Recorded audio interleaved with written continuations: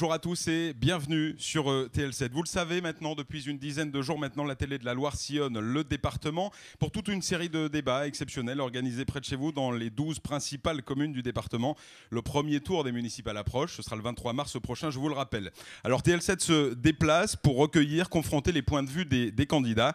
Et aujourd'hui, nous sommes dans la troisième plus grande ville du département, au pied du parc du Pilat. C'est le restaurant La Cantine, place Saint-Pierre à Saint-Chamond, qui nous accueille. Et pour ce débat, aujourd'hui, c'est Xavier Alix qui m'accompagne, journaliste à l'hebdo L'Essor Affiche. Bonjour Xavier. Bonjour Sylvain, bonjour à tous. Alors, le parti pris de TL7 et de l'Essor Affiche pour ce débat, c'est de réunir tous les candidats. Nous n'avons pas voulu faire de choix, effectivement. Ils sont donc six à participer aujourd'hui et ils vont vous présenter leur projet pour les Saint-Chamonnais pendant ce futur mandat de maire qui arrive. Alors, euh, Xavier, on va présenter tous les candidats un par un, très rapidement, euh, qui sont autour de la table avec nous aujourd'hui. Oui, donc on va commencer par le maire sortant, Philippe Kizerian, maire PS, à la tête euh, cette année d'une liste d'union PS-PC à gauche autrement, Saint-Chamond à venir. À côté de vous, euh, Philippe Kizerian, Franck Descours. Euh, bonjour, vous menez une liste Front National Rassemblement Bleu Marine pour Saint-Chamond. Puis nous avons ensuite euh, Monsieur Alain Barbasso à la tête de la liste écologie, Europe Écologie Les Verts, pardon, allié au parti de gauche, l'écologie pour Saint-Chamond. Hervé Reynaud, euh, qui mène une liste divers droite. Bonjour, vous euh, menez une liste l'Union des Saint-Chamonnais 2014. Nous avons ensuite André Moulin à la tête de la liste Lutte ouvrière, faire entendre le camp des travailleurs. Et puis enfin, Emmanuel Mandon, qui mène une liste UDI-UMP, le Rassemblement pour Saint-Chamond. Bonjour à tous les six. Merci beaucoup d'avoir bien voulu accepter notre, notre invitation. Alors, euh, le parti pris aussi aujourd'hui, c'était de ne pas revenir sur les dissensions, les unions, les désunions. Je pense que tous les Saint-Chamonnais, tous les Couramio ont vu, lu, entendu beaucoup de choses là-dessus. Alors nous, ce qu'on voulait vraiment, c'était faire de la, la prospective du projet, présenter vos projets respectifs pour Saint-Chamond, pour ce futur mandat. Simplement, Xavier va revenir sur le contexte euh, particulier ici à Saint-Chamond. Oui, on, va faire rapide, hein, on va éviter de trop s'étaler sur la politique politicienne. Juste euh, signaler qu'on se retrouve dans un remake du côté de la droite républicaine avec 2008, c'est-à-dire deux listes de droite, euh, celle d'Hervé Reynaud, euh, qui n'a pas eu l'officialisation UMP, et celle d'Emmanuel Mandon, qui lui est UDI, mais a eu l'officialisation UDI-UMP. Euh, Monsieur Reynaud était directeur de cabinet de Monsieur Ducard en 2008. On se retrouve donc dans un même contexte, sauf qu'évidemment pour la droite, il y a le FN cette fois-ci. Du côté de la gauche, on a une liste écologiste comme en 2008, mais on a en plus la liste LO de Monsieur Moulin, ce qui n'était pas le cas en 2008 puisque LO faisait partie de la majorité jusqu'ici. Voilà, j'espère que vous avez tout compris. Euh, voilà pour la situation, le contexte. Première question à tous les six, messieurs. Qu'est-ce qui, aujourd'hui, fait qu'on a envie de, de vivre à Saint-Chamond Philippe Kizirian? Bah, écoutez, c'est une euh, belle ville d'abord. Euh, J'y suis né, donc euh, je, peux, je suis un petit peu chauvin. C'est une ville qui est située pas très loin de Saint-Étienne, entre Saint-Étienne et Lyon, avec des transports collectifs, je pense au TER, qui rendent notre ville attractive. C'est une ville qui est adossée aussi au parc du Pilat, donc qui offre une certaine convivialité avec des parcours liés au parc naturel du Pilat. Donc on a aussi tout un réseau associatif, tout un réseau de clubs sportifs, on a des PME C'est qui une tiennent. ville où on a envie de vivre aujourd'hui euh, Oui, c'est une très belle L'image ville. à l'extérieur de, Saint-Chamond oui, oui, c'est une très belle ville. ville. Et euh, du reste, euh, on a diminué l'hémorragie démographique depuis les années 70, euh, choc pétrolier, disparition des grandes entreprises. On a un certain nombre de populations, de notre population qui, a, qui est partie vivre ailleurs. Aujourd'hui, depuis 4 ans, on a une stabilisé cette hémorragie démographique et on a des populations qui viennent s'installer à Saint-Chamond et notamment des populations lyonnaises. Alain Barbasso, euh, aujourd'hui, on a envie de vivre à Saint-Chamond Oui Non Suffisamment? Euh, oui, euh, on a envie de vivre à Saint-Chamond. Alors pourquoi vivre à Saint-Chamond? Parce que on a un cadre de vie très intéressant, géographie physique intéressante, une belle vallée, des montagnes pour, pour, pour des activités de pleine nature. On a une mixité sociale intéressante, mixité culturelle. On a euh, un cadre de vie avec les associations, euh, des associations qui, euh, qui sont nombreuses, qui sont variées, qui permettent de nombreuses activités, de, de loisirs. On a toutes les commodités puisque on est une, une ville d'importance avec la, la métropole, donc Saint-Étienne, très rapprochée. On a des transports en commun. Donc c'est une ville agréable à vivre? C'est une ville agréable à vivre. D'après vous? Qui souffre cependant on verra ça juste après. Emmanuel Mandon, même question pour vous. Est-ce qu'aujourd'hui, l'image de Saint-Chamond à l'extérieur est, la bonne? C'est une image qui a été détériorée, malheureusement, alors que c'est une ville qui a de très beaux atouts. Je crois que ça a été souligné. Une très bonne situation, un environnement euh, avec une ceinture verte remarquable, un positionnement géographique euh, très proche de la grande ville lyonnaise. Alors qu'est-ce qui s'est dégradé? Ce qui se dégrade malheureusement, c'est ce que disent d'ailleurs un certain nombre de jeunes qui ne peuvent pas rester ici parce qu'il n'y a pas d'emploi euh, comme il, faudrait, parce que pour la formation, on n'a pas tout ce qu'il faut, même si c'est à proximité. Et ça, c'est aussi la précarité que beaucoup de nos concitoyens vivent. Donc cette situation euh, socio-économique sur le bassin stéphanois pèse lourdement à Saint-Chamond, et c'est une des difficultés et c'est une des actions qu'il faudra conduire pour relever le défi, justement. André Moulin, vous êtes d'accord avec ce que dit Emmanuel Mandon? Il y a des difficultés aujourd'hui qu'il faut euh, combattre? Écoutez, moi, les difficultés, je les connais bien. Hein. J'ai travaillé toute ma vie. Je ne suis pas un politicien professionnel. Pendant 42 ans, j'ai travaillé sur le site qu'on appelle maintenant Nova Syrie. Je vis en HLM dans le quartier de Saint-Julien, donc je suis au plus près des, préoccupations des gens. Les préoccupations des gens, eh ben, c'est comme beaucoup de, dans beaucoup de, villes euh, comme de, villes, c'est bon euh, la précarité, c'est le chômage, c'est les petits salaires, les petites retraites. Ça, c'est ce que je vis. Et Saint-Chamond, de ce côté-là, se distingue pas de beaucoup d'autres villes. Euh, je pense, je veux faire entendre la voix des travailleurs à Saint-Chamond comme ailleurs, parce que les problèmes sont pareils ici qu'ailleurs.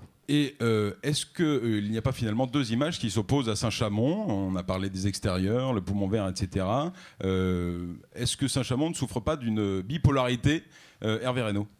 Non, simplement, c'est une commune qui a, comme cela a été dit, de, nombreux atouts, avec une population très accueillante et populaire dans le bon sens du terme. Moi, je suis très fier d'être né et de vivre dans cette commune.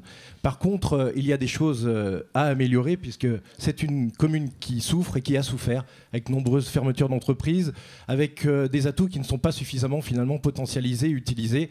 Donc, il y a beaucoup à faire pour qu'on vive bien et que le cadre de vie soit encore amélioré à Saint-Chamond. Franck Descours euh, sur la qualité de vie à Saint-Chamond. Est-ce qu'elle est la bonne? Est-ce qu'aujourd'hui, à l'extérieur, on a envie de vivre à Saint-Chamond? Alors écoutez, Saint-Chamond, donc, comme ça a été dit, c'est une ville qui a beaucoup d'atouts, qui est proche euh, du Pilat, donc qui a une. Qui, dans ses atouts, en fait, cette ville a une, une proximité euh, parce qu'elle permet d'avoir certaines structures qu'on ne pourrait pas avoir sur de petites communes mais en même temps, elle est assez proche du Pilat, ce qui fait qu'on a une, a une bonne diversité d'environnement, et c'est ce qui rend Saint-Chamond agréable à vivre. Monsieur Kizerian, euh, tout ce qui vient d'être dit, il y a quand même des difficultés. On n'a pas beaucoup parlé du centre-ville, euh, je remarque. On a beaucoup parlé de la proximité du parc du, du Pilat. Euh, il n'y a pas un problème d'image aujourd'hui ou de, de, différence entre le centre-ville et puis les extérieurs de Saint-Chamond? Ben, on a eu des, mutations euh, démographiques. Effectivement, euh, à une certaine période, beaucoup de gens sont venus habiter en centre-ville. On avait même des classes moyennes qui habitaient en centre-ville. Et ces classes moyennes ont été s'installer sur des programmes euh, périphériques, sur des lotissements, et voire même dans les communes périurbaines. Et c'est la pauvreté qui s'est installée en centre-ville. Et ça, bon, malgré ce que dit M. Mandon, qui veut me faire porter le chapeau, depuis des années et des années, les, choses, la mutation s'est opérée. effectivement, en centre-ville, on a à, à travailler sur la requalification urbaine du centre-ville, mais aussi du Creux. Et si j'ai l'occasion, j'en parlerai tout à l'heure. On en parlera tout à l'heure justement de l'aménagement. Emmanuel Mandon, une réaction en deux mots? Oui, une réaction parce que c'est un peu facile de, ne pas parler des décisions qui ont été ratées, des choses qui ont été occultées pendant ce mandat. Et là, je trouve que. Par exemple, deux, bah trois choses. Il y a des opérations de revitalisation du centre-ville qui ont été stoppées dès votre arrivée en mairie. Résultat, euh, les grues ne sont jamais arrivées. Donc je crois que là-dessus, on a une responsabilité, il faut l'assumer.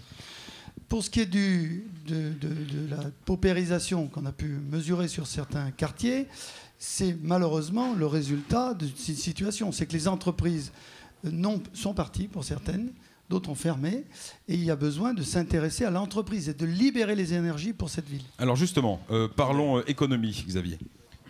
Donc, euh, première question qu'on voudrait poser aux candidats, c'est déjà de quoi on vit à Saint-Chamond quand on ne se contente pas que d'y habiter. Seconde question, ça concerne évidemment l'un des projets phares liés à l'emploi, c'est pas le seul, mais c'est Nova Syrie ou ex-Sigiat pour, euh, pour les gens qui ne connaissent pas la, nouvelle nomination. Donc c'est un énorme projet mené par Saint-Etienne Métropole. On sait que Philippe Kizirian est le vice-président de l'économie à Métropole. quels sont vos projets pour refaire quelque chose de ce site, y attirer de l'emploi et d'autres projets éventuellement? Hervé Reynaud, on commence avec vous. Oui, simplement, euh, l'économie, l'emploi, c'est vraiment, je dirais, le nerf de la guerre euh, à Saint-Chamond. Euh, on l'a dit, de nombreuses entreprises ont, ont fermé, mais pas suffisamment de choses ont été faites pour redynamiser cette commune. à Saint-Chamond, il y a un maillage de PME-PMI qui est important, mais malheureusement, beaucoup doivent partir. On le voit tous les jours sur l'autoroute, avec un certain nombre de personnes qui vont travailler sur Saint-Étienne ou sur Lyon. Donc aujourd'hui, euh, il faut vraiment euh, prendre le problème à bras le corps en dégageant euh, du foncier pour que les entreprises puissent s'installer, renouer le dialogue avec le monde de l'entreprise, faire en sorte également, puisque la compétence économique est à Saint-Étienne Métropole, qu'il y ait une antenne locale et un suivi vis-à-vis du monde de l'entreprise. Et ça n'est pas fait C'est pas le genre de dispositif qui existe déjà Et, ce n'est pas fait. Saint-Chamond n'a pas su s'imposer au sein de Saint-Étienne Métropole. Et concernant Nova Syrie, c'est vrai que c'est un enjeu majeur pour demain, mais c'est un autre projet plus innovant et plus volontariste qu'il va falloir pour la ville. Philippe Kizerian, alors je rappelle que vous êtes premier vice-président de, Saint-Etienne Métropole. Ça n'a pas été fait ce travail, cette pression sur Métropole Moi, je vais vous dire, je pense que la campagne électorale a des vertus thérapeutiques. Parce que pendant six ans, j'ai entendu casser à tous les conseils municipaux Saint-Etienne Métropole et le projet de Nova Syrie. Rien n'allait, euh, tout, tout, tout, tout. Non, on a cassé la gouvernance, hein, monsieur Oui, bah, monsieur Mandon, est-ce que je pense que vous ne devez pas. Je pense quand même, il faut le reconnaître. Il ne doit pas habiter dans la même ville que moi, parce que les grues, il y en a, il y en a eu sur Fonsala, il faudrait peut-être que vous, alliez sur Fonsala et aussi sur Saint-Julien. Un quartier que vous avez abandonné pendant des années et des années, vous et votre majorité précédente. a une réhabilitation sur Est-ce que quand même on peut tous être d'accord sur, sur Nova Syrie? Le projet de requalification, c'est quand même un engagement fort de métropole. Il faut quand même rappeler aussi un peu l'histoire quand même hein, par rapport au site de Nova Syrie. Il y avait deux entreprises principales qui étaient Giat et Siemens. Giat est parti en 2006. Euh, à l'époque, M. Ducar n'a même pas demandé de contrepartie. C'était 800 emplois qui ont, qui ont disparu. Euh, Siemens est parti. Euh, c'est pareil, il n'a pas donné beaucoup de contrepartie. Résultat, on a des friches industrielles et, aussi la pollution, la pollution, la dépollution payée par les contribuables. André Moulin, qu'est-ce que l'on doit faire aujourd'hui donc pour relancer la vie économique du coup sinistrée? Vous parliez de Siemens, de, de, de Giat. Qu'est-ce qu'on doit faire à Saint-Chamond d'après vous? Ce qui se passe, c'est qu'on a toujours les mêmes méthodes. J'entends toujours les mêmes méthodes, c'est-à-dire on veut attirer les entrepreneurs. Alors, d'après vous, vous, qu'est-ce que vous proposez aujourd'hui? on, on, veut attirer les entrepreneurs en leur disant bon, on va vous faire un pont d'or, venez à Saint-Chamond. Mais je rappelle que même si le, le maire, le maire élu euh, prend son joli costard et sa jolie cravate, c'est pas pour ça que les patrons viendront. Alors qu'est-ce qu'on doit faire, Qu'est-ce que vous proposez ah, Certainement pas ce qu'on euh, fait d'habitude. Alors pour la vitalité économique du territoire. De donner sans contrepartie, de donner des subventions et des aides, etc. à des patrons pour qu'ils viennent à Saint-Chamond. Alors qu'est-ce qu'on fait? Je, me permets d'insister. Qu'est-ce qu'on fait aujourd'hui pour faire venir des entreprises à Saint-Chamond? Quelles sont vos propositions et quelles sont vos clés? Mais Monsieur, c'est pas les, c'est pas moi qui décide qui, euh, un patron qui vient à Saint-Chamond. le patron il vient ou vient pas. Il part ou il part pas. On a vu pour Siemens, malgré la bagarre qui a été menée par la majorité municipale pour euh, que Siemens reste, n'empêche que Siemens est parti, parce que Siemens, c'est un groupe de 400 000 euh, personnes dans le monde. Euh, Donc pas de proposition aujourd'hui pour faire revenir des entreprises et créer de l'emploi Non, je n'ai pas de méthode miracle, je vous le dis tout de suite. Monsieur Barbasso, sur ce point, la vitalité, la vitalité pardon, économique du territoire, l'emploi, qu'est-ce que propose Europe Écologie Les Verts sur ce dossier? Alors, euh, quelques chiffres. On peut remarquer qu'en 10 ans, l'emploi industriel est passé de 33% à 22%. 4 euh, habitants sur 10 seulement travaillent à Saint-Chamond. Donc il faut faire quelque chose pour retrouver de l'emploi, il faut le relocaliser cet emploi. Euh, nos propositions, nous, elles sont autour de, la transition énergétique. On pense que c'est ce qui va pouvoir nous, permettre d'amener de l'emploi. Alors on pense au secteur de la rénovation thermique parce qu'il y a beaucoup à faire. Euh, des choses ont été, ont, été euh, vont dans ce sens déjà sur la ville de Saint-Chamond. Autour de l'agriculture et des circuits courts, l'économie sociale et solidaire. Et on peut relancer l'emploi avec des thématiques comme celle-ci On peut relancer l'emploi. Alors, c'est pas tout seul, hein. euh, c'est l'État, c'est la région. obligatoirement. ces, ces, projets, il faut que la municipalité les soutienne. Alors comment on peut les soutenir? Un exemple, l'agriculture et les circuits courts pour les soutenir, on a euh, par exemple euh, un service de restauration scolaire. Mais il faut que ce service de restauration scolaire il soit municipalisé. Reprendre en main du coup la restauration scolaire, ça fait partie des propositions. C'est une des propositions. Euh, le- les, les circuits courts, c'est aussi euh, le- les réseaux des AMAP, par exemple, euh, qui ont été mis en place depuis déjà euh, quelques années sur Saint-Chamond, à l'initiative d'ailleurs de, de nombreuses personnes présentes sur, la liste, euh, sur notre liste, l'écologie pour Saint-Chamond. Merci beaucoup. Euh, monsieur, monsieur Reynaud, euh, alors on a entendu plusieurs points de vue, plusieurs propositions. On écoutera Emmanuel Mandon et M. Kizirian et M. Descours juste après. Les solutions, alors vous, vous, on vous laisse terminer. Vous évoquiez Saint-Etienne Métropole tout à l'heure. Très concrètement, des projets si au lendemain du 30 vous êtes élu en termes de, de vitalité économique Oui, enfin, comment voulez-vous qu'avec un, un discours anti-patron, comme on l'a entendu, on puisse attirer du, Vos des- propositions, des, entreprises Reynaud. Oui, Je- on vous mettra pas d'accord, j'en suis sûr. Derrière les Ne patrons, il y a pas. de l'activité, de l'emploi. Vous savez, en tant que vice-président du Conseil général, il y a plus de 5000 entreprises qui se créent chaque année depuis 2008 dans la Loire. Combien à Saint-Chamond? Alors, Alors, euh, vos propositions. Donc- je me permets d'insister. je pense que les avoir dit tout à l'heure, pour dégager du foncier, créer des zones d'activité, Salitec 2 a été abandonnée, la zone artisanale euh, sur le bas du Sidiat a été, euh, a été abandonnée, avoir une antenne locale pour qu'il y ait un accueil et un suivi des entreprises au sein de Et l'agglo, refait et puis pression. sur Nova Sierra, sur c'est un tout autre projet qu'il faut aujourd'hui. Euh, comment voulez-vous qu'en créant 5000 m2 de surface commerciale, vous n'allez pas tuer le centre-ville de Saint-Chamond dont vous, parlez, dont vous évoquiez la paupérisation? C'est déshabiller le centre-ville de Saint-Chamond pour habiter Nova Sierra. Vous êtes d'accord Euh, Développer Nova Sierra, ça peut être fatal pour le, le centre-ville de, de Saint-Chamond, Philippe Kizirian Non, sûrement pas. Je pense que si on fait rien, c'est c'est ce qu'il y a de pire et notre commerce local euh, va disparaître petit à petit. Sur la question de- des entreprises, moi je suis très pragmatique. Je pense que le développement économique, il passe à 80% par des entreprises endogènes et notamment des PME qui sont installées sur notre territoire parce qu'elles y sont attachées, elles connaissent leurs employés et euh, il y a une volonté de rester sur le territoire. Donc c'est la création de zones économiques sur la piste des Euh, notamment sur euh, le champ du Jet, où on a 3 hectares de terrain pour faire du tertiaire, l'extension de la zone du Clos Marquet, sur la zone du Banc, et Stelitech 2, qui n'est absolument pas abandonné, mais je voudrais simplement rappeler à M. Reynaud qu'il y a un projet de, de la 45 avec un barreau d'échange entre la future A45 et la 47 qui impacte toutes les, euh, tous les Un espaces. peu tout le facile hein, quand même. Alors, justement, C'est un peu facile. Sur les propositions, sur les crois qu'il- propositions euh, euh, économiques euh, qu'on vient d'entendre, Emmanuel Mandon, et puis vos propositions à vous. ça me fait la- réagir parce que je dis sincèrement, la priorité des priorités, c'est l'emploi. La question de l'emploi à Saint-Chamond est essentielle. Nous souffrons d'abord d'un déficit de tertiaire. Effectivement, vous l'avez dit, ça a été dit, il y a des gens qui sont obligés de partir tous les jours parce qu'il n'y a pas d'emploi ici. La vocation industrielle, on n'a pas à l'abandonner. Et je suis heureux de voir qu'on va pouvoir réindustrialiser, garder de l'activité sur le site GIAT. C'était un enjeu déjà en 2008. Nous avions défini un projet autour d'un centre d'innovation qui inclut réellement de la formation, qui permettent de positionner des immeubles de bureaux, notamment plusieurs milliers de mètres carrés, avec un objectif de développer 2000 emplois. Sur Ça, c'est thème- sur une quinzaine d'années. Sur quel thème le... La thématique, c'est justement la nouvelle économie. Parce que si vous n'anticipez pas toutes les régions qui ont pu faire de la reconversion économique, c'est parce qu'elles ont fait des bons choix.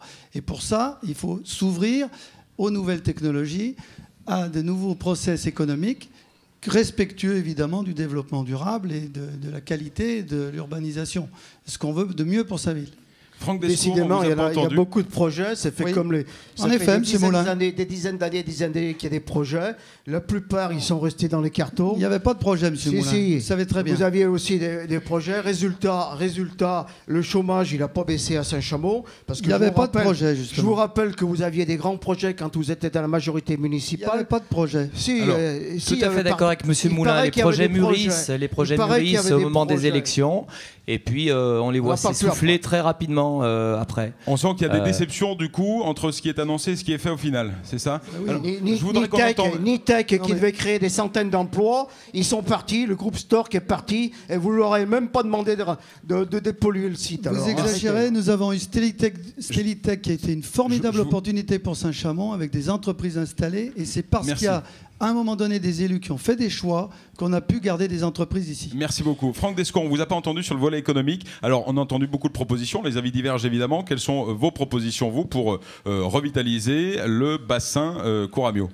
Écoutez, déjà, il n'y a pas de mystère. Pour faire revenir de l'emploi, il faudra évidemment venir, faire revenir des entreprises. Mais ces entreprises, il faut leur donner envie de venir. C'est-à-dire qu'il faut leur proposer un système d'imposition qui soit avantageux, plus avantageux que sur d'autres territoires. Il faut leur proposer aussi un environnement sécurisé. Et il faut surtout leur faire euh, bien comprendre qu'ils ne seront pas seuls. C'est-à-dire qu'aujourd'hui, Saint-Chamond dispose de deux partenaires euh, indispensables que sont la CCI et le Club G. La CCI, donc euh, basée à Saint-Étienne, qui permet le développement donc de l'économie sur le bassin, et le Club G qui travaille au relationnel entre les entreprises et qui permet donc de d'échanger euh, les marchés entre les entreprises ou au contraire faire leur promotion. Voilà. Et c'est là-dessus qu'il va falloir s'appuyer, c'est-à-dire qu'on ne peut pas se développer seul, il faut que chaque entreprise soit... On travaille en réseau. Toutes, les entreprises doivent être solidaires entre elles. Monsieur Cuisirian, sur ce qu'on vient d'entendre, sur les, promesses euh, et puis le bilan moi, je suis stupéfait parce que quand je suis arrivé en 2008, le projet de Nova Sierra, c'était de tout raser euh, toutes les entreprises qui y étaient pour faire un palais des sports lié au basket. Euh. donc il y avait un projet qui était éminemment euh, lié à, au loisir et certainement pas à l'économie. Quand je suis arrivé, quand nous sommes arrivés, Là, on peut quand même préciser que c'est complètement faux. Bah, non, non, non, j'ai les plans. Je ah, C'était pas le projet de tous, en tout cas. Pragmatique. Je suis pragmatique. J'ai les plans, j'ai les grandes intentions de l'époque et heureusement que j'ai changé. Et pour moi, les 45 hectares ont à 70% une vocation économique. Et la preuve en est, je suis encore une fois pragmatique, on a rénové des bâtiments, on est en train de faire un gros travail avec les industriels pour les implanter, les conforter et faire venir d'autres entreprises. Voilà, on va gagner la bataille des idées, c'est bien, monsieur Kizirien. Non, mais je suis pragmatique, moi. moi je suis pragmatique, je regarde les choses. La zone, la zone économique est en train de sortir ans, vous avez fait preuve d'idéologie, vous avez été dogmatique, et maintenant nous apprenons que vous êtes pragmatique. C'est la conversion, mais c'est peut-être le président qui vous a converti au niveau national. Quel président président de Votre président de la République Monsieur le président de la République. Allez, s'il vous plaît, passons à. Je pensais que vous parliez du président Bonne, à qui vous chacun d'entre vous revendique l'appartenance. Voilà. Je me suis trompé. Merci. Non, on n'a pas une lecture aussi politicienne. Ne repartons pas dans ces débats. Je pense, on l'a dit tout à l'heure, tout a été dit sur, sur le sujet. Euh, non, mais parlons d'économie parce que je crois que c'est la clé. Si, vous, si sur ce site, on ne dit pas qu'on va investir et se mettre dans le sens de l'histoire, la ville de Saint-Chamond, qui était une terre d'innovation, vous savez, le site GIAT, le site des aciéries de la marine, c'était un site qui avait une renommée mondiale. Et il n'y a pas de raison aujourd'hui qu'on abandonne notre vocation industrielle. On parle de reconquête industrielle. M. Montebourg est venu de manière un peu confidentielle à Saint-Chamond, paraît-il. Je ne sais pas s'il est venu d'ailleurs à la fin. Mais quand on parle de reconquête industrielle, on attend des actions concrètes. Mais Nous sommes à des territoires. Vous êtes tous d'accord finalement sur Nova Syrie, j'ai l'impression. Plus ou moins. Non, non, parce qu'il faut mettre du contenu, il faut définir une stratégie, il faut avoir une véritable stratégie de développement pour Saint-Chamond, et Nova Syrie peut en être le fer de lance. Mais il faut être bien d'accord sur ce qu'on y met dessus juste pour rebondir sur, ce qu'a dit M. Descours tout à l'heure, euh, c'est aussi un projet qui dépend beaucoup de, métropole, de l'agglomération. Euh, quand vous dites qu'il faut baisser les impôts, M. Descours, il faut voir aussi avec métropole. Donc comment Saint-Chamond, on revient sur ce thème, comment Saint-Chamond peut peser plus au sein de Saint-Étienne Métropole si elle pèse pas assez mais les élus de Saint-Chamond sont des élus métropolitains. moi, simplement dire qu'il euh, y a eu deux projets dans ce mandat très importants sur, au niveau de l'agglomération. Vous avez un peu d'avance sur le temps de parole. C'est euh, le stade Geoffroy Guichard et Nova Je rappelle simplement un chiffre c'est 78 millions d'euros sur Nova essentiellement portés par l'agglomération. Alain Barbasso, la place de Saint-Chamond dans l'Interco, dans Saint-Étienne Métropole. Alors juste un petit rappel, en 2008, nous portions déjà euh, le principe d'un éco-quartier sur, sur Nova Syrie. Nous avons été les, premiers à porter ce projet-là. Euh, nous n'avions pas euh, pour volonté de, raser ce site, simplement de le, réemployer, de le tourner vers l'avenir, vers un avenir, l'avenir de la transition énergétique.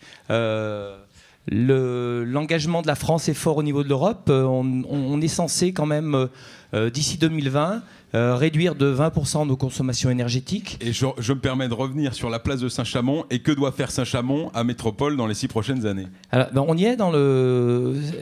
Saint-Chamond à Métropole a des élus. Saint-Chamond à Métropole est là pour, pour peser pour le développement de, de Saint-Chamond. Mais si on a fait une métropole, c'est pour pour qu'il y ait une, euh, une organisation qui permette à tous euh, de, de, se développer, de, de trouver de l'emploi pour, euh, pour les habitants de, Saint-Étienne Métropole. il ne s'agit pas de, tirer la que, que la, couverture à soi. Saint-Étienne Métropole, c'est une formidable opportunité pour, pour mutualiser, Je vous laisse terminer votre phrase quand même. pour mutualiser en fait les, les compétences. Merci. André Moulin, Euh, la place de, Saint-Chamond euh, à Saint-Étienne Métropole, est-ce suffisant Est-ce la bonne Et euh, quelles sont vos intentions pour ce mandat? D'abord, l'intercommunalité, bon, c'est pas une mauvaise idée puisque ça permet de mutualiser les moyens. Mais de l'autre côté, moi, je, je, trouve personnellement, puisque j'ai vécu quand même Saint-Étienne Métropole de l'intérieur, comme vous savez, j'ai démissionné de la commission environnement, euh, contrat de rivière, parce que j'étais pas satisfait dans la façon Saint-Chamond avait été traité au niveau des budgets assainissement. Euh, moi, je trouve que Saint-Étienne Métropole, euh, comme beaucoup d'agglos, est quand même loin des habitants. C'est une grosse machine qui est, loin des, qui est loin des habitants. Et puis, il y a un deuxième problème dont il faut parler. il y a des décisions actuellement qui se, qui se prennent au niveau du gouvernement il faut bien se dire une chose, que les collectivités locales, dans la région, dans ces septième métropoles, dans le Conseil général et dans les communes, auront, de moins, moins de moyens. Donc il faudra faire avec moins de moyens. Monsieur Mandon, est-ce que, euh, comme le disait Monsieur Moulin, euh, Saint-Étienne métropole est trop loin de ses habitants? Ben, malheureusement, c'est le problème d'ailleurs de ces grosses structures. On craignait une, usine à gaz et parfois, sur certains aspects, c'est ce qu'on vit. Alors qu'est-ce qu'on peut faire Et ce qu'il faut faire, ben, c'est d'abord que les élus prennent complètement la mesure de leur rôle à Saint-Étienne Métropole. Quand on est élu à Saint-Chamond, on est élu également à Métropole. Et nous, d'ailleurs, nous avons cette logique, c'est de dire qu'il faut séparer les deux aspects des choses. Des élus qui se dédient entièrement à l'action métropolitaine, qui suivent du lundi matin au, samedi l'action à Saint-Étienne Métropole. Et qui ne siègent pas dans les conseils à Saint-Chamond? Si, mais par nécessité, c'est la loi. Donc on, peut, on est obligé de le faire vous, seriez pour une division très claire? Dans notre équipe, nous avons dit les élus qui iront à Métropole euh, feront que ça. Ils auront pas de une action sur métropole pour bien suivre. Malheureusement, à Saint-Chamond, nous, au conseil municipal, on était très mal informés sur ce qui se faisait. Euh, il n'y a pas eu de débat préalable par rapport aux décisions et les arbitrages qui se faisaient à métropole, ce qui n'est pas normal. C'est un problème de démocratie locale. Et, pas suffisamment de clarté, Philippe ben, Évidemment, on n'a jamais si, il y a beaucoup de mauvaise foi. C'est ah non, non, la campagne. Rien, je vous Mais assure. simplement, moi, je trouve que l'agglomération, c'est à la bonne échelle. C'est une collectivité territoriale qui se trouve à la bonne échelle. Est-ce que vous êtes d'accord avec ce que disait André Moulin et du coup le constat de M. Mandon je pense que Métropole aujourd'hui est une, une, une, structure éloignée de la population. Bah, je pense qu'il faut être attentif, oui, il faut être dans les structures, il faut être là où les décisions se prennent, dans les commissions, parce que pour euh, être aussi euh, porteur de la voix euh, des habitants. Et qu'est-ce qu'on peut faire pour être plus proche? En deux mots, parce qu'on il faut. Bah, il faut s'investir, il faut s'investir au sein de, des exécutifs. Hervé Reynaud, sur, sur Saint-Etienne Métropole, est-ce que c'est une machine qui est suffisamment trop éloignée des, des préoccupations des, des habitants Saint-Étienne Métropole, c'est 45 communes aujourd'hui, et vous l'aviez rappelé en préambule du débat, Saint-Chamond est la deuxième ville de cette agglomération. Donc il faut s'investir, mais surtout, il faut s'imposer au sein de Saint-Étienne Métropole, euh, parce qu'aujourd'hui, 78 millions d'euros pour le site Nova Syrie, euh, mais pour faire quoi hein, euh, pour faire un parc urbain d'1,2 million d'euros, c'est pas suffisant par rapport aux enjeux qu'on a évoqués tout à l'heure au niveau de l'économie. Simplement, moi je crois être à peu près le seul à m'être opposé à tous les budgets euh, voté par monsieur et proposé par monsieur Kizerian et monsieur Vincent. Pour quelle raison? Euh, bah, Simplement parce que les choses ne correspondaient pas aux attentes euh, des, Saint-Chamonais et ces budgets, que ce soit en termes de projet, que ce soit en termes de fiscalité, eh bien, ne permettaient pas à Saint-Chamond de sortir de l'ornière. Alors qu'est-ce qu'attendent les Saint-Chamonais de Saint-Étienne Métropole, d'après vous? Eh ben, en matière de fiscalité, une fiscalité euh, qui soit beaucoup plus maîtrisée. Euh, dans ce mandat 2008-2014, euh, c'est la première fois qu'on a créé un, nouvel impôt ménage qui correspond à 8 points d'impôt pour les Saint-Chamonais. C'est pas comme ça, effectivement, qu'on va créer un cadre stable, fiscal stable, pour faciliter la venue d'entreprises et faciliter le maintien de population à Saint-Chamond. Philippe Kizirian, la fiscalité de, de Saint-Étienne Métropole est trop lourde? Écoutez, Saint-Étienne Métropole, c'est faire à plusieurs ce que l'on ne peut pas faire seul. Donc il y a une certaine solidarité. Et moi, je suis très étonné d'entendre dire que Saint-Étienne Métropole ignore Saint-Chamond. J'ai plutôt envie de dire que c'est le Conseil général qui ignore Saint-Chamond parce qu'il n'y a aucune subvention. Le Conseil général euh, priorise euh, l'accompagnement des, des communes rurales. C'est pas tout à fait les mêmes compétences. Et parlez d'abord qui vous concerne. Écoutez, il y a la compétence économique aussi hein, au Conseil général. Vous le savez très bien.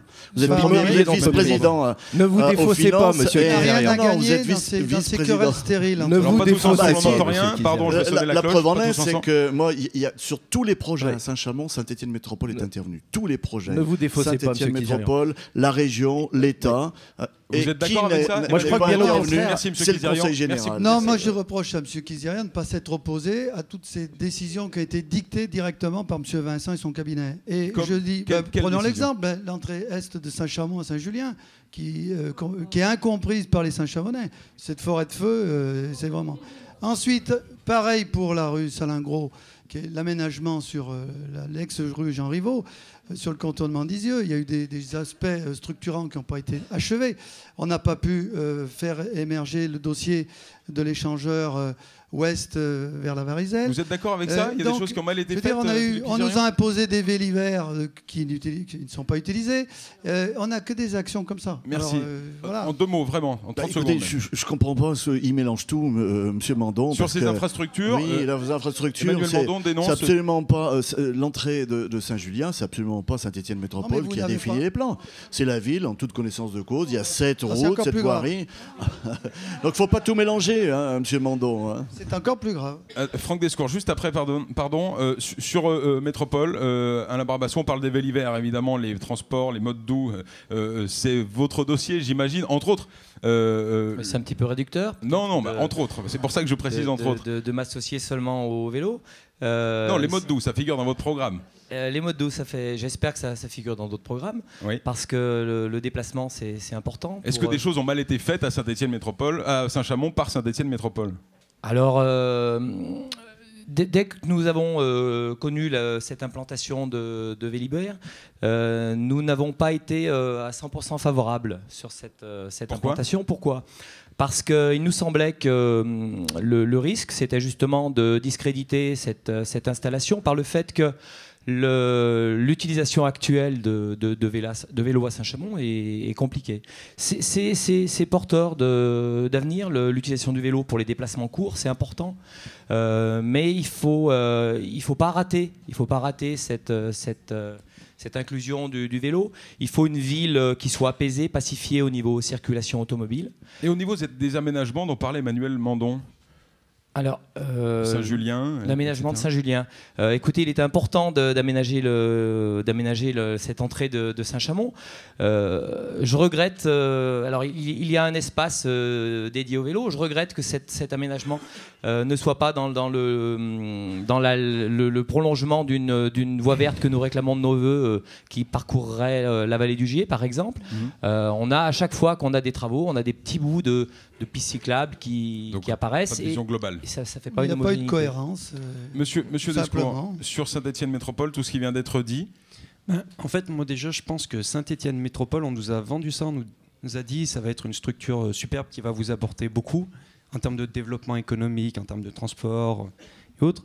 Et on s'aperçoit que Saint-Étienne Métropole, c'est juste devenu une, une pompe à fric supplémentaire, une strate supplémentaire dans toutes ses couches avec euh, le Conseil général Saint-Étienne Métropole, la région, le pôle métropolitain et autres. donc si demain vous siégez à Métropole, au lendemain du 30 mars, Déjà, il faudra que Saint-Chamond euh, reprenne sa place dans Saint-Étienne Métropole. Saint-Chamond est la deuxième ville de Saint-Étienne Métropole et aujourd'hui, elle n'a aucun pouvoir. et alors comment? C'est-à-dire qu'elle se contente de suivre les directives de Saint-Étienne. C'est-à-dire qu'à Saint-Étienne, par exemple, on va vous mettre euh, justement des vélos, bah tiens, on va en mettre à Saint-Chamond.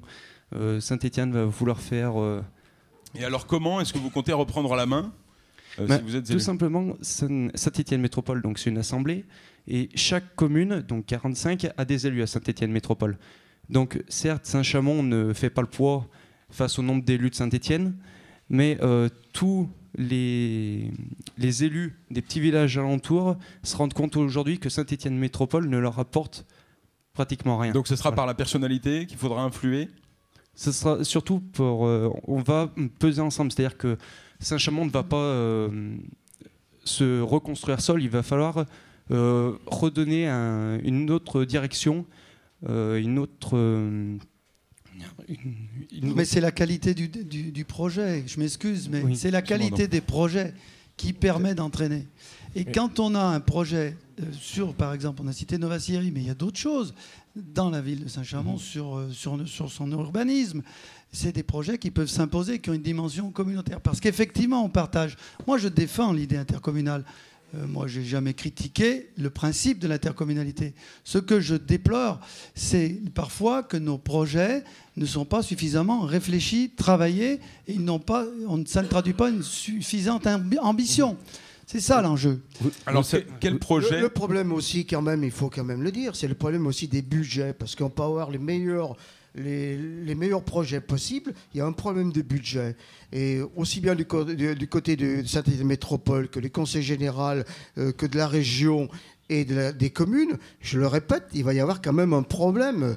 Moi, j'écoute euh, la télé comme tout le monde, j'écoute les déclarations du gouvernement, il faut faire des économies sur les collectivités locales. Et comment ça va se traduire concrètement pour nous? Pour nous. Parce que euh, euh, l'argent, si on n'a pas, si pas d'argent pour faire des projets, on peut bien avoir des jolis projets, surtout en période électorale, ça se fera pas. Ou alors, il faudra imposer un peu plus les gens. Et, et je vous rappelle quand même que Saint-Chamond, on est pauvre fiscalement, parce que la population de Saint-Chamond est pas très riche. Alors pourquoi vous avez augmenté les impôts? Parlons fiscalité, justement. moi, je vais vous dire quelque chose, monsieur Mandon les impôts. Si les impôts sont pour des choses utiles, moi, je ne suis pas contre les impôts. Et puis, je suis aussi pour que ce soit ceux qui ont du pognon qui payent les impôts. D'abord. Hervé Reynaud, sur la fiscalité, on y est, on, va y rester. Euh, du coup, on paye trop d'impôts à, Saint-Chamond. Il, il y a des économies à faire? Alors, il y a d'abord des économies à faire. Euh, notamment, on le voit au sein de la commune, mais également au sein de Saint-Étienne Métropole. Il faut mieux mutualiser les choses. Et puis, pour revenir sur le registre dont se fait pas suffisamment respecté à Métropole. Si M. Moulin a, démissionné et aujourd'hui fait liste autonome, c'est parce que notamment sur la compétence assainissement, Saint-Chamond est, débiteur. Saint-Chamond est débiteur. Sur les voiries, Saint-Chamond est, débiteur également. Si je donc, me présente, si vous permettez de, me laisser parler, euh, donc Saint-Chamond, lorsqu'il y a des transferts de compétences, euh, ne rentre pas dans son argent.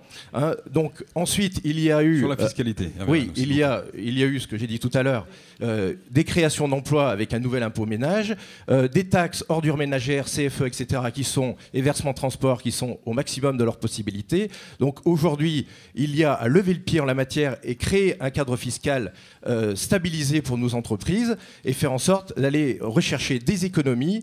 Euh, et c'est pour ça que nous lançons d'ailleurs un audit financier dès notre arrivée à la mairie pour pouvoir, sur le mandat, annoncer les, annoncer les choses et ne pas créer de nouvelles taxes. Philippe Kizirian, sur la, fiscalité, quelles sont les, promesses que vous faites au, au Coramio pour ce mandat si vous êtes réélu au lendemain du 30 bah, mars Tout d'abord, je voudrais faire une petite rétrospective, hein, dire que euh, moi j'ai plutôt baissé la dette euh, que de l'augmenter. Hein. Non, vous l'avez transféré à Métropole.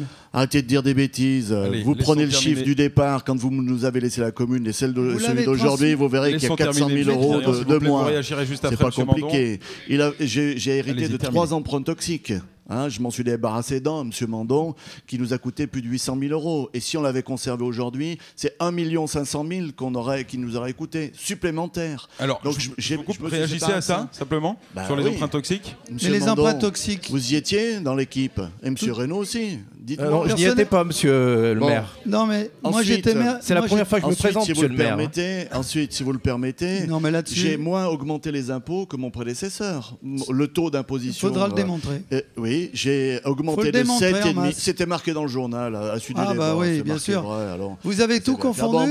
Vous avez confondu. Je vous donnerai la parole juste après, J'ai augmenté le taux d'imposition de 7,5 sur cette mandature. Mon prédécesseur avait fait 8, lui. Et alors, pour la mandature suivante si vous êtes réélu eh ben, Exactement pareil. Plus suite à Métropole. modération de, de l'imposition. Aujourd'hui, je ne veux pas mentir. Qui peut vous croire Je ne vais pas mentir au Saint Ça fait 4 ans que je n'ai pas augmenté les impôts. Vous répondrez juste après, M. Mondon. Ça fait 4 ans que je n'ai pas augmenté les impôts. Par contre, ceux qui disent je, vais, je ne vais pas augmenter les impôts, je vais même les baisser, et qui dans le même temps veulent doubler la police, tripler la police municipale, faire ceci et faire cela, moi, j'y crois pas. J'ai tenu mes promesses.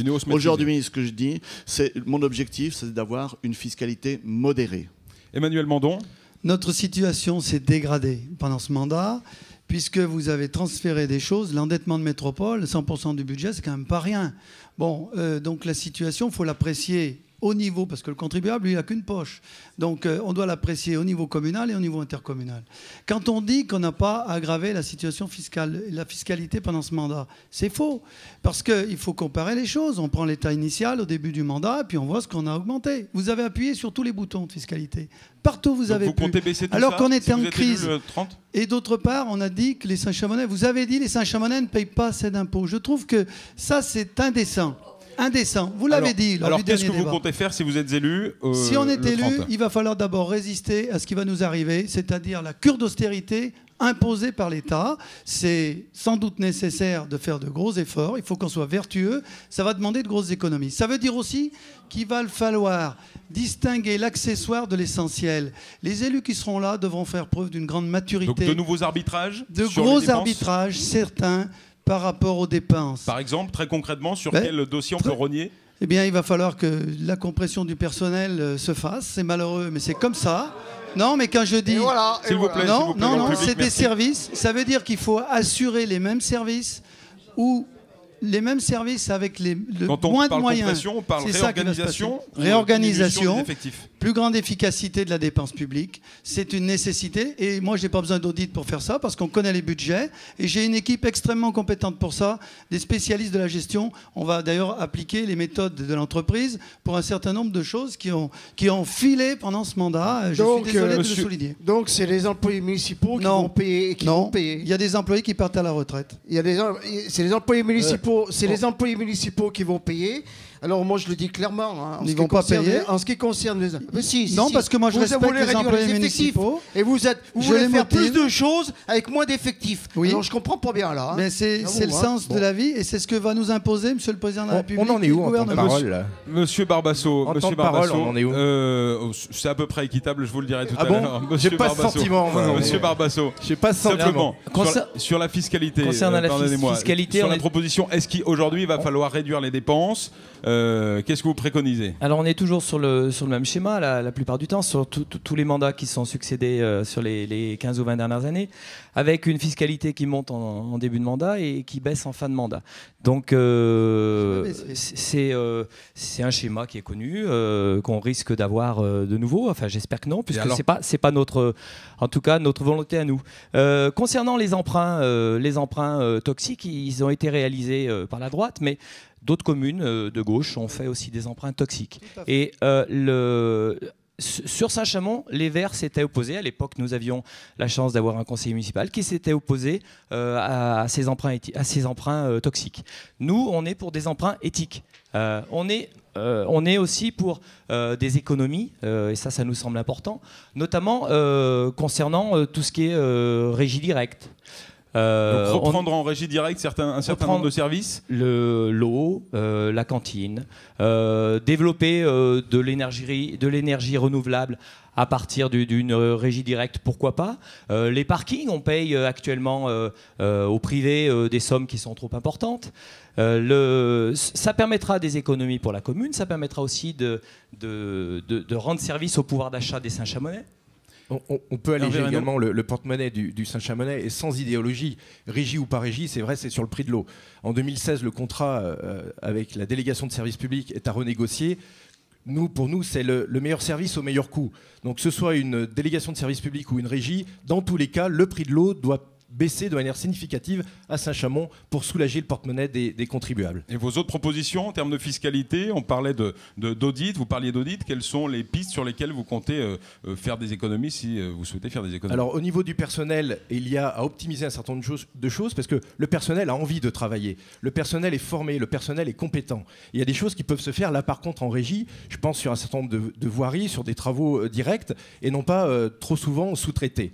Euh, et puis euh, ensuite, euh, il y a beaucoup à faire aussi dans l'organisation de, la mairie pour que justement un certain nombre de choses soient prises à bras-le-corps par Saint-Étienne Métropole, qui aujourd'hui, au-delà de Nova Série, ne nous propose rien comme infrastructure d'envergure communautaire. Par exemple qu'est-ce que vous pouvez demander à Saint-Étienne Métropole Eh bien, vous parliez tout à l'heure euh, en matière de sport qu'il y a des besoins. Je crois qu'il ne faut pas pointer du doigt le palais des sports qui est prévu par Saint-Étienne Métropole. Au contraire, il faut se battre pour, ce que, pour que ce palais des sports vienne à Saint-Chamond et non pas s'installe, par exemple, dans la plaine du Forêt du côté d'Andrézieux-Boutéon. C'est cela s'imposer à Saint-Étienne Métropole.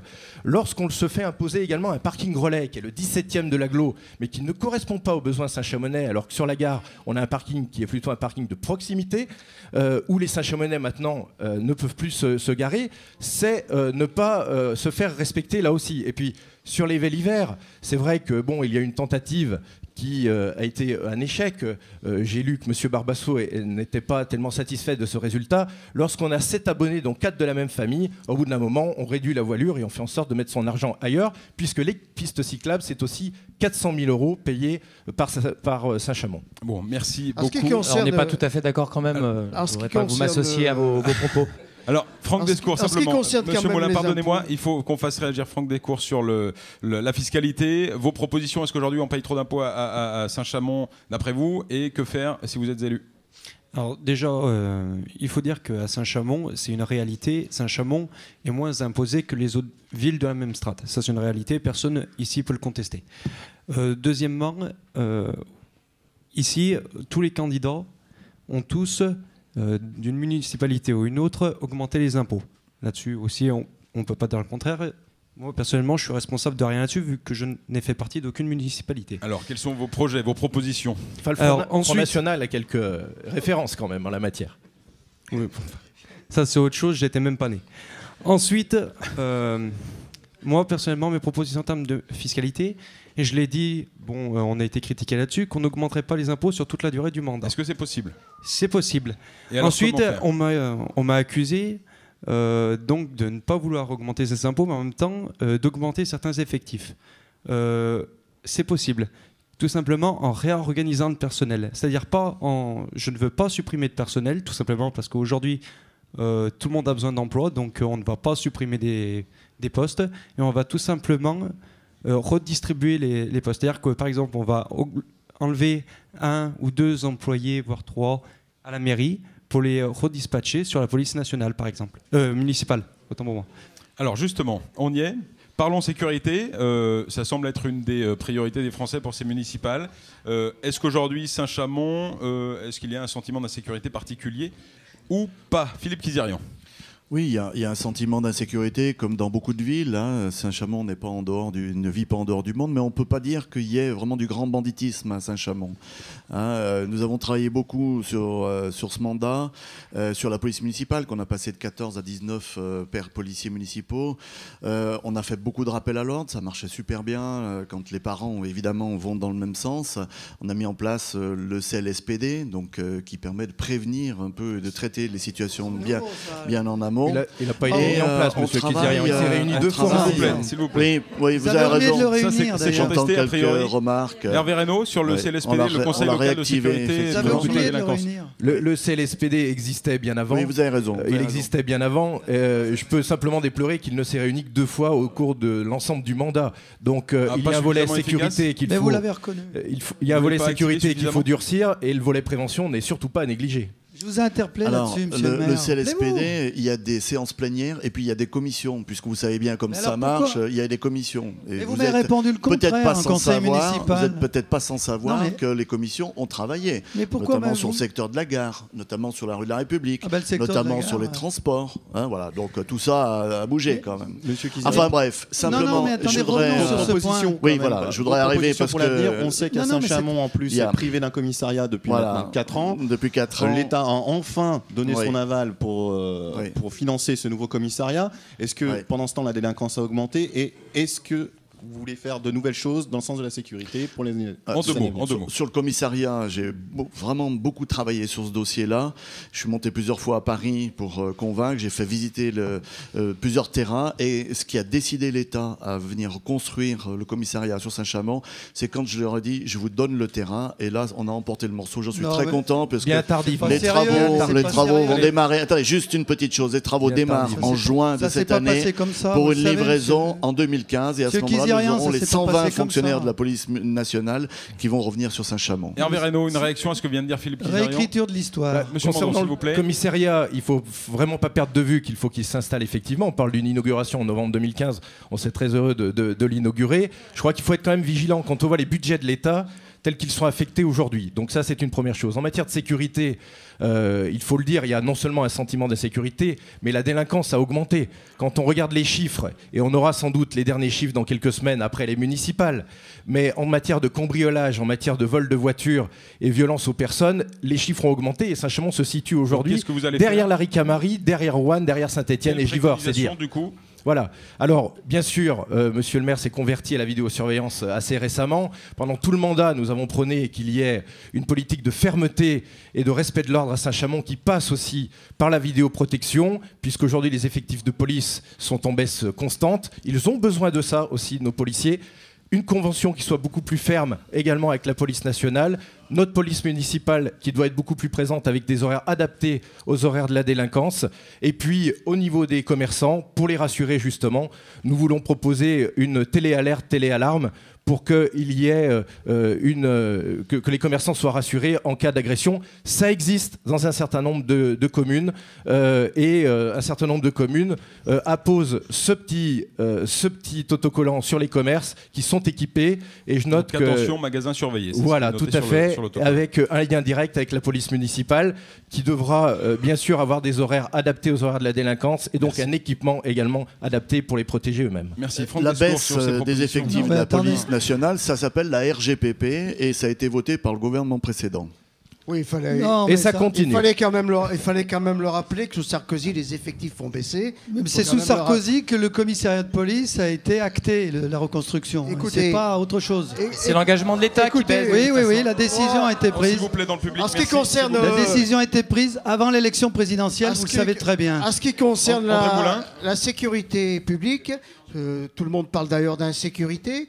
euh, ça, c'est un fonds de commerce. hein. Dans toutes les villes actuellement, au municipal, pas un fonds de il y a commerce. ce Ah, débat. que Si, si, y a- un y a- fonds Non, de commerce. allez voir la- aujourd'hui allez voir la que peur des gens. Mais moi, monsieur Mandon, Allez la vo- moi non, j'habite mais pas, j'habite pas. Allez voir la, la peur Écoutez, des gens à monsieur Fonsala Mandon, ou à Saint-Julien. moi vous j'habite pas savez. dans, une- d'après vous, dans un, Monsieur dans un Moulin. secteur Non, mais s'il vous plaît. Monsieur Moulin, résidentiel. S'il Monsieur vous Moulin, plaît. il ne faut pas parler de résidentiel, sécurité, j'habite d'après vous dans un quartier qui s'appelle Saint-Julien. Oui. Hein bon, alors il paraît qu'on a mis une caméra à Saint-Julien, il paraît, etc. Moi j'habite au cœur. Non, mais regardez quartier. la détresse J'habite pas dans et un lieu. Et l'inquiétude Je de peux en trop de parler de la Saint-Chamonix par Vous savez, il a pas de problème de La première insécurité, c'est l'insécurité sociale, c'est le problème du chômage, c'est la précarité, c'est les bas salaires. Et il y a c'est les conséquences. Et il y a aussi les conséquences sur le plan de Vous savez, là aussi, il faut vraiment avoir les pieds à. Saint-Chamond. Nous avons consulté les Saint-Chamonais euh, euh, lors d'un questionnaire. 94% des Saint-Chamonais questionnés nous ont dit la sécurité Qui a doit répondu être une Qui a priorité. répondu Voilà. Qui a répondu Voilà. Monsieur Barbasso, sur, Euh, sur vous pas fait cette sécurité. démarche, Monsieur Barbasso. Merci, Monsieur Reynaud. euh, Est-ce qu'on en fait trop, Monsieur que Barbasso vous voulez simplement entendre. Merci. Euh, Est-ce qu'on en fait trop, Monsieur Barbasso, sur la sécurité? Moi, je crois qu'il y a un gros problème déjà de désengagement de l'État euh, qui, qui est, qui est récurrent euh, euh, depuis euh, plus de 10 ou 15 ans. Euh, le- Au-delà du commissariat, il y a un désengagement de, de l'État par rapport aux forces de, de- de police. Euh, sur la sécurité, je crois qu'il faut apporter une réponse globale. Euh, des solutions techniques telles la, la vidéosurveillance, euh, euh, à moins d'en mettre de, de- de partout et d'avoir une ville euh, complètement quadrillée, d'avoir des, des, des- des personnes que, euh, derrière euh, 24 heures sur 24, je ne vois, je vois pas vraiment l'utilité. Un coût et un coût qui, qui sera faramineux. Euh, 2 millions d'euros sur la ville d'Or- d'Orléans par an pour, pour la sécurité. Et qu'est-ce que vous préconisez, Caméra. vous Alors, quelles sont vos solutions? Qu'est-ce que je préconise? Moi, je dis déjà que le- les gens qui font monter ces choses-là sont des marchands de la peur. Pourquoi des marchands de la peur Parce que c'est un commerce. hein, c'est un commerce. Ça fait, ça fait voter. Et en plus, euh, ça, ça, ça permet de, de vendre des, des- des caméras. Ça permet de, de vendre de, de, de l'armement. On arme les policiers outil. municipaux. C'est aujourd'hui, on se rend compte Euh, qu'au niveau national, tous les sondages montrent que euh, Ouais, bien sûr. ça Ouais. fait partie des, des- des, inquiétudes, la sécurité. Non, Pas mais le sentiment, au niveau le national, sentiment d'insécurité existe bien, mais euh, euh, les solutions techniques ne, se- ne, ne sont pas Alors- efficaces. Alors, d'après vous, Euh, la concertation, hein, réunir le, le conseil local de sécurité, c'est une chose importante. Du temps de la droite, je crois me souvenir que que Monsieur Ducard à l'époque avait jugé que c'était inutile. Euh, c'est les souvenirs que j'en ai. Il me semble que c'est important qu'il y ait une concertation de, de- de- de- des conseils locaux de sécurité. C'est indispensable. Euh, euh, il me semble qu'il faut donner aussi, donc il faut que- qu'il y ait des moyens aussi qui soient en direction de tout ce qui est éducateur, médiateur. L'école a un rôle important. Euh, les associations, bien sûr, la vie, la vie associative, c'est une réponse globale qu'il faut. Euh, les conseils de quartier euh, sont, quelque chose d'important sens. C'est-à-dire qu'on peut très bien imaginer que dans un quartier un petit peu difficile, le conseil de quartier, on y mette un, petit peu plus de moyens humains au moins dessus pour qu'il y ait euh, une écoute, une médiation euh, qui, soit, qui, qui, peuvent être, ré- qui peut être réalisée par les conseillers de quartier avec une formation. Ça existe dans certaines Oui, Monsieur Mandon, vous conclurez sur ce dossier. Pardon, euh, euh, Franck Descours, on essaie de faire jongler un petit peu. D'accord, je vous. Franck Descours sur la sécurité. Ce qu'il faut dire, c'est que là, il faut pas se voiler la face. Il y a un sentiment d'insécurité qui est très fort à Saint-Chamond. Euh, bon, on est d'accord pour dire qu'on n'est pas non plus à Marseille. Il n'y a pas un mort tous les jours, heureusement d'ailleurs. Mais Alors, euh, qu'est-ce que vous, euh, euh, vous avez dans votre programme en termes de sécurité? Alors, donc, comme je l'ai dit tout à l'heure, la sécurité va passer par euh, la présence de la, la police municipale. Ça a un coût. J'ai dit comment on pourrait euh, réduire ce coût. Mais par contre, euh, là où je m'oppose euh, face à d'autres candidats, c'est que je ne trouve pas que la vidéoprotection soit réellement un moyen efficace. C'est-à-dire qu'une caméra, quand vous la posez, euh, elle est à un endroit et elle filme qu'un seul endroit. Tandis qu'un policier municipal, euh, il peut se trouver n'importe où, n'importe quand. Voilà. Donc, euh, une Donc on enlève caméra. les caméras et on met des policiers. Voilà. Moi, les caméras, je trouve pas que ce soit un bon système. On utilisera celles qui sont déjà présentes, voilà, parce que ça a eu un coût, donc on va les utiliser. Mais je pense que d'abord, il faut euh, mettre les moyens humains euh, en avant. Merci. Monsieur Mandon, vous concluez sur Non. la thématique de la sécurité. Voilà, sur la sécurité, nous, on a une priorité, c'est effectivement de mettre un vrai réseau de vidéoprotection sur la ville. C'est deuxièmement de réorganiser la police municipale, d'en faire un vrai acteur de sécurité publique. C'est une nécessité. Parce qu'effectivement, ça a été souligné, il y a des carences de la part de l'État. Et puis, il y aura une convention forte entre la police nationale dans le commissariat qui va se construire, qu'on espère, il va falloir être très vigilant là-dessus. Ça sera un des points où il faudra être très très solide vis-à-vis du gouvernement pour obtenir que l'engagement soit tenu dans les semaines et les mois qui viennent. Je suis vigilant, vous inquiétez pas. Oui, mais Je on vous connaît, les monsieur choses. Gizirian. J'ai vu, j'ai suivi vos déplacements à Paris. Je sais avec quel. Hein, vous avez Ça y est, été. merci, non, mais vous n'avez pas Ah. toujours été très efficace, malheureusement. Merci beaucoup. Et, et donc, non, non, je regardez où on en est aujourd'hui. Sur la vidéoprotection, vous nous avez fait perdre. l'expérience. Vous nous avez Merci. fait perdre fait 6 partie, ans sur la vidéoprotection. euh, de, Bon, sur le Vous, avez laissé tomber la police municipale. la, Elle n'a plus de feuille de route. Il vous faut plaît, tout réorganiser aujourd'hui. nous sommes déjà à une heure de débat. On va parler, alors on va faire un tour de table sur les, les grands projets, euh, l'urbanisme. Euh, quelles sont vos propositions pour ce mandat, pour euh, Et c'est André Moulin, euh, su- sur les services à la personne également.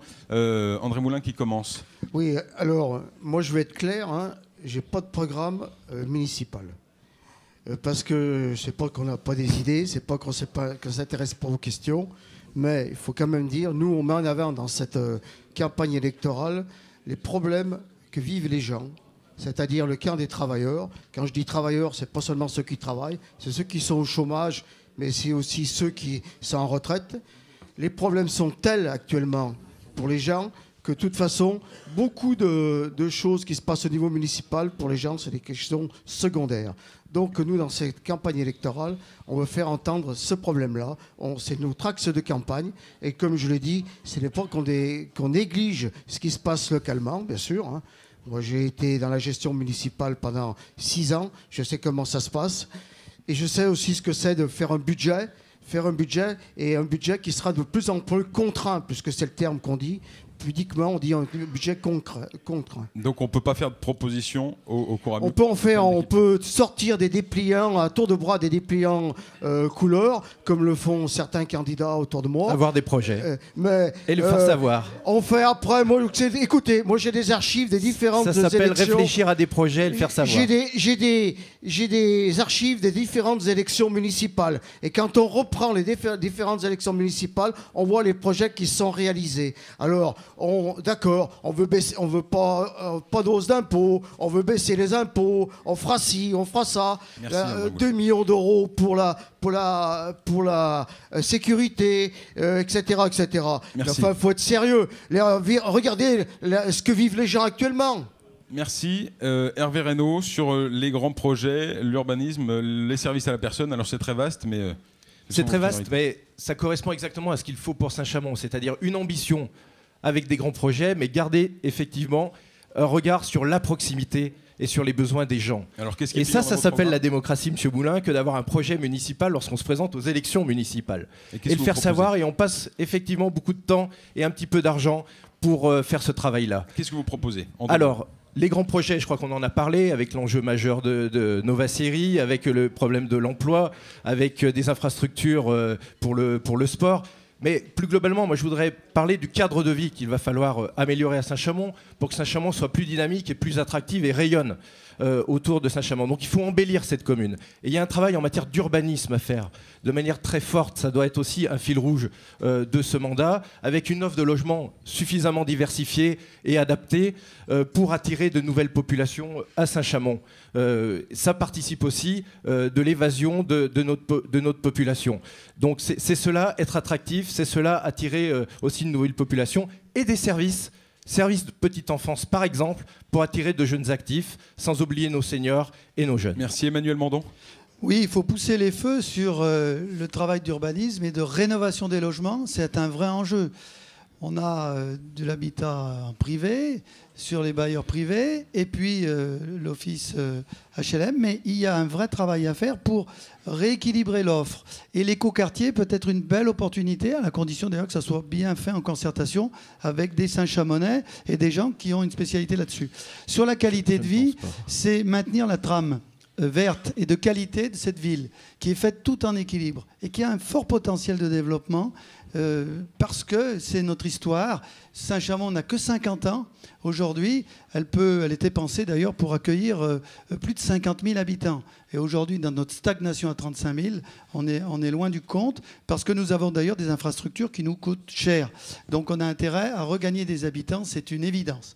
Alors ce travail de proximité, c'est le rôle du maire d'être un gestionnaire, d'être un visionnaire aussi, mais il doit être impliqué au quotidien, au plus près de ses concitoyens, sur la propreté urbaine, la qualité du cadre de vie, les services offerts par les associations, le bénévolat, l'implication des uns et des autres. C'est un vrai travail quotidien qui réclame d'ailleurs qu'on ne fasse que ça. C'est le non-cumul des mandats que je prône. Merci. Alors, Il y a, peut-être un très gros projet qui pourrait être mis en place euh, dans les années à venir. Euh, Monsieur Kizirian, vous considérez qu'il faut que Saint-Chamond candidate pour l'ANRU, ce qui n'a pas été fait lors de la précédente mandature. L'ANRU, c'est la rénovation urbaine, c'est des dizaines de millions d'euros peut-être pour Saint-Chamond, pour rénover notamment son centre-ville, vous pensez? Oui, euh, j'ai fait la preuve qu'on peut et on doit s'attaquer à la rénovation urbaine parce qu'on a des quartiers qui se paupérisent et qui sont abandonnés avec de l'habitat insalubre. Ça a été le cas donc euh, sur Saint-Julien. On a engagé une belle requalification. Sur Fonsala, j'en ai parlé.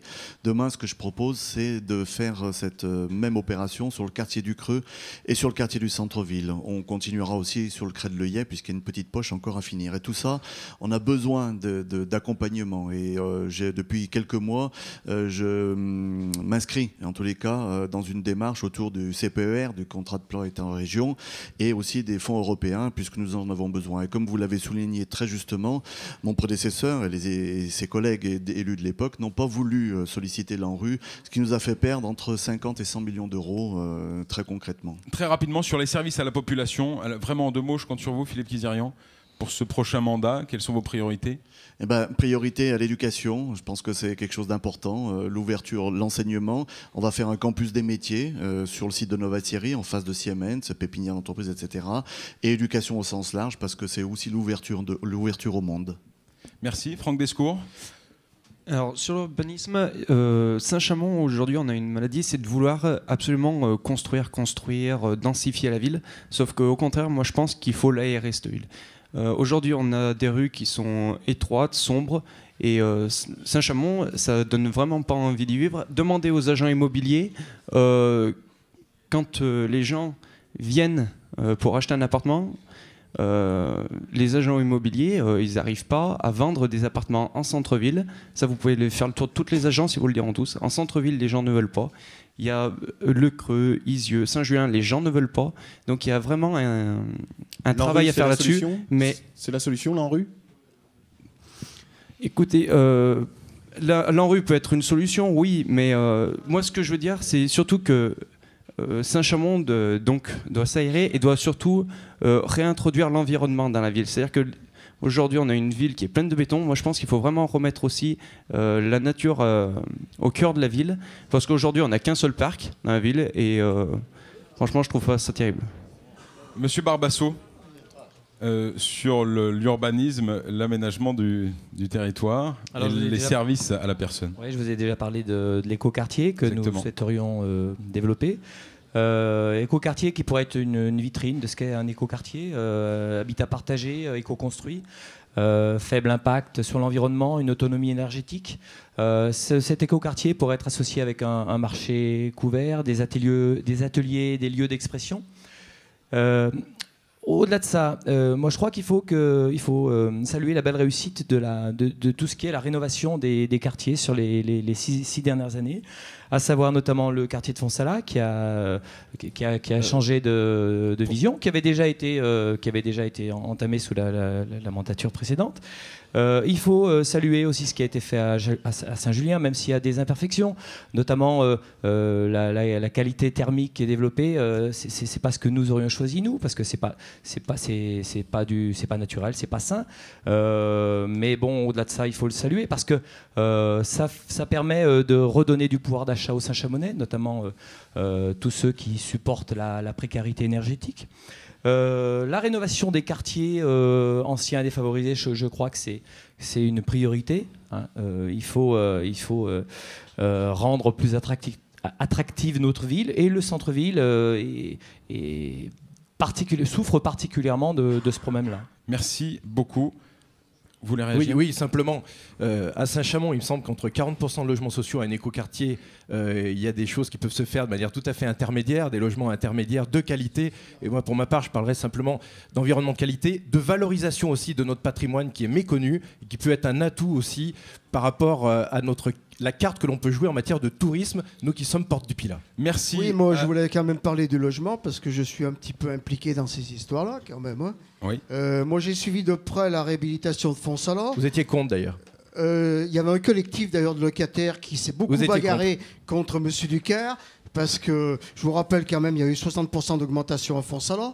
Comme ce qui va se passer à euh, Saint-Julien d'ailleurs. Exactement. Ah et il y, a une certaine continuité d'ailleurs entre la droite et la gauche, plus qu'au niveau gouvernemental, plus que nous à Saint-Julien, parce que je suis locataire d'HLM. Et j'en suis fier d'ailleurs d'être dans le logement social. ce que c'est d'habiter un HLM 49%. Et effectivement, on n'a pas de subvention. Et pourquoi? Parce que de toute façon, parce que M. Ducar, à une époque, a refusé de le classement. Je le rappelle quand même, il faut quand même le rappeler. Et si, on peut, si les locataires on paye le prix fort, c'est qu'il n'y a pas de subvention. Alors pourquoi à Saint-Julien, aujourd'hui, on paye le prix fort? Eh ben, alors, parce que de toute façon, ça n'a pas été classé. On vous l'a dit et répété. Alors il fallait faire euh, quelque chose, monsieur Moulin. Il faut que je vous Eh bien, écoutez, monsieur, j'ai écrit à Cécile Duflot. J'ai deux lettres, j'ai pas eu de réponse. Et je suis très à l'aise pour le dire. J'ai mis une, banderole sur mon balcon, vous pouvez le voir. Et moi, je, effectivement, je proteste, je proteste euh, contre le fait que ce soit les locataires qui paient la réhabilitation. Moi, j'estime que l'État, quand il y a des, des grands projets comme ça, l'État doit payer. Et l'État, plutôt que de donner du pognon aux patrons ou aux riches, il ferait mieux de donner du pognon pour le logement social. Merci beaucoup André Moulin. Ce débat est terminé. Malheureusement, on arrive à la fin. Alors évidemment, on n'a euh, pas évoqué plein de thématiques. C'est comme ça à chaque fois. Vous avez été très bavard sur le reste. Euh, on va vous laisser une petite minute pour conclure. Vous avez chacun en face de vous une caméra. Je vous laisse vous adresser euh, au Couramio, aux électeurs qui s'exprimeront le 23 mars prochain. Et on commence avec vous, Philippe Kizirian. vous avez une minute pour évoquer le sujet qui vous préoccupe. Bah, écoutez, je voudrais d'abord dire à tous les Saint-Chamonais et toutes les Saint-Chamonaises que j'ai eu beaucoup de plaisir à diriger cette ville. Nous avons, euh, avec euh, toute mon équipe, euh, nous avons été engagés pleinement à 100% pour notre commune. Nous l'avons prouvé sur tous les quartiers, en termes d'urbanisme, on l'a dit, mais aussi dans tout ce qui concerne la vie quotidienne. Je pense au conseil de quartier, je pense au conseil municipal des jeunes. Enfin, nous avons essayé de faire en sorte que les 36 000 habitants puissent vivre ensemble en respectant leur diversité, leurs différences et en créant euh, du lien social. Alors le chemin euh, n'est pas fini et je propose aux Saint-Chamonais, aux Saint-Chamonaises de renouveler le mandat pour les six années qui viennent avec euh, une bonne partie de l'équipe que j'ai en, en place actuellement et puis euh, quelques autres personnes qui vont venir enrichir cette équipe. Merci beaucoup. Emmanuel Mandon, Emmanuel Mandon, s'il vous plaît. Alors, pardonnez-moi, merci. Emmanuel Mandon, à vous. Oui, je veux dire que cette, ce mandat 2014-2020, ça doit être le mandat où on tourne la page d'une erreur et d'un accident de parcours qui a coûté très cher. Et je crois que nous avons la maturité suffisante, l'intelligence collective, la compétence et l'expérience pour euh, dynamiser cette ville, lui donner une nouvelle dimension, qu'elle reprenne sa place dans l'agglomération et dans Loire-Sud, dans le tissu euh, de ce territoire qui a beaucoup souffert de crise de reconversion. Et aujourd'hui, nous serons les élus qui, qui feront cette reconversion, qui lanceront la nouvelle impulsion.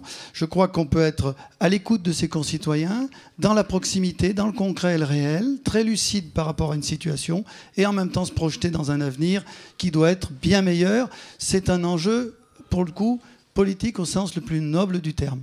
Merci beaucoup. Franck, Franck Descours, à vous de, de conclure.